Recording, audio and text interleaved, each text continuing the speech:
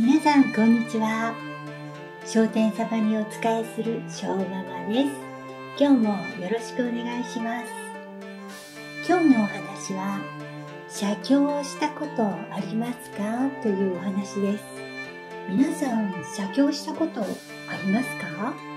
最近は写経を手軽に楽しめるアプリとかウェブサイトなどもあるようです。そもそも写経とは何ですか？という方のために写経というのは仏教の修行法の一つで仏典を書き写すことを指します。最近はネットなどで写経無料などで検索すると無料のお手本などもたくさん出てきますので比較的簡単に始めることができます。写経は仏教の教えを学ぶだけでなく文字とか筆使いを習得するための訓練としても有効です。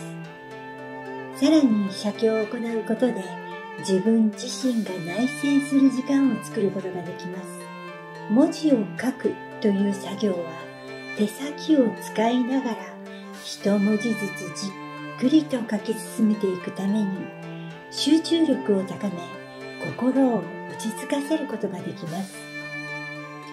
また仏教の教えを書き写すことで教えを深く理解し自分自身の人生にも応用することができます。また写経は心の浄化にもつながります。文字を書く作業に集中することで日々のストレスとか心のざわつきを忘れて心を清めることができます。さらに仏教の教えに触れることで自分自身を客観的に見つめ直して心のバランスを整えることができます。そしてさらに商店様に願い事を詳細にお話ししたい。そんな思いに駆られることってありませんか？商店様に聞いていただきたいその熱い思いを写経のように書いてみるのもいいかもしれません。普段写経をされている方なら材料は全て身近にあるのではないでしょうか。できれば昔ながらの筆で商店様にお供えした朝の一番水の残りで墨をすずりですって書くことが望ましいです。もちろん簡単な筆ペンなどで書いても大丈夫です。しかし商店様は昔ながらの筆と墨を好まれるんです。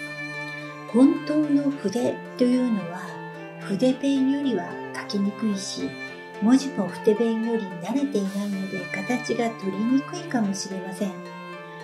書かないより書く方がいいしせっかく書くなら好まれる方法の方が良いのではあるのですがこれはどちらでも構いません。簡単な筆ペンで半紙に書くというのももちろんありです。商店様にそうやって自分の願いを書くことであなたの叶えたい願いがより具体的に見えてくるかもしれません。文章が難しければ箇条書きなど簡潔でも構いません。具体的な自分の願いが見えてくればより具体的な努力方法も見えてくるかもしれません。今願っている願いなら神棚のお供え台に置かせていただき読んでいただきましょう。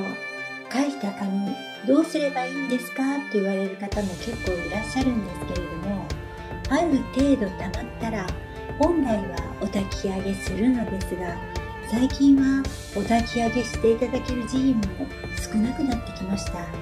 お家では燃え上がることもあり危険ですから燃やすことはせず商店様に読んでいただきありがとうございます。